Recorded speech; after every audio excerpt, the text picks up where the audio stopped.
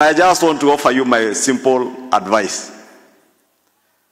We have reduced in the finance bill digital content withholding tax from 15% to 5% because we want to create new media stations from digital content creators who will inform people on Facebook, on TikTok, on WhatsApp na hizo zingine Instagram na zile zingine zote. My simple advice to our media houses. Today you may imagine you are fighting with the government of the Republic of Kenya. But you are fighting with change. In another five years, mainstream media will be made very irrelevant if you do not stick to being objective and informing Kenyans the truth. Because by the time you are reporting news at 9 p.m., TikTok, WhatsApp, Facebook, Instagram, WeChat na hizo zingine zote watu wamejulishwa na wamejulishana wenyewe. maneno hii ya watu ya, ya, ya media waseme ile wanataka kusema na sisi tuseme ile tunataka kusema, kwa sababu siku nyingi wamekuwa wakisema peke yao. Sasa na sisi tuseme maneno yetu, wao waseme yao na sisi tuseme maneno yetu. Last week mkasema eh, watu wasiweke advert kwa, serika, kwa gazeti, lakini nataka uendeleze kutokea hapo. Itakuwaje watu wenye wananunua gazeti Kenya nzima, number one inakuwa ni serikali.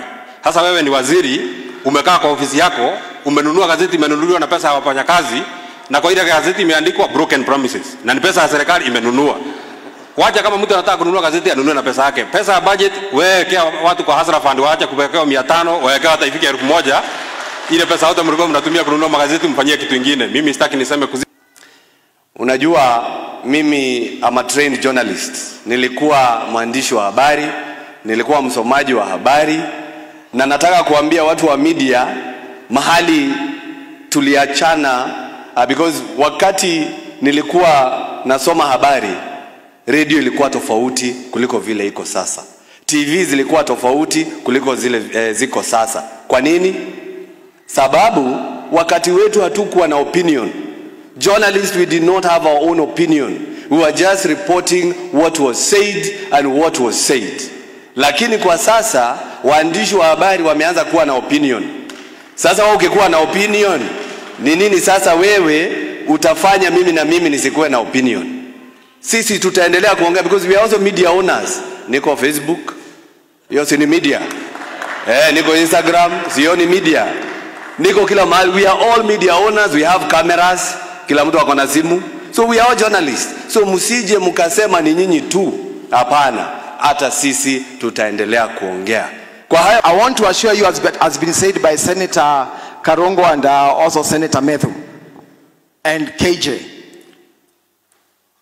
when Safaricom advertises with you, you don't write a single negative story about Safaricom. But government for a long time advertises at 70% in media houses and buys, in fact, for instance, one newspaper whose name I won't mention, but it's the biggest, prints 80,000 copies a day. Out of those 80,000 copies, 64,000 are bought within government and put in government. The rest are sold in the street and 20,000 comes back as returns. Therefore, we, cannot, we don't have a problem with you writing what you may and we will defend you for what you write and may. But, but, if you write what is wrong, we will counter you with system your fact and do not complain. Because you can say what you may, but we must say what the church has told us to unleash our full potential in spirit and in truth. God that even our media will have to understand that we are all in one boat, that we cannot afford to sink this ship. If the ship called Kenya sinks, we all sink with it. I am a journalist. I believe in the freedom of press. I believe that they should have the freedom to express themselves. However, they also have a public duty to communicate the truth to the Kenyans. There is a responsibility that the people who broadcast to the people of Kenya must take. At least kama kitu ni kizuri, tunasema ni kizuri. Mahali kitu ni kibaya, tunakubali ni kibaya na kirekebishwe. Lakini patriotism inasema kama kuna jambo ambalo litajenga taifa hilo lifanyeni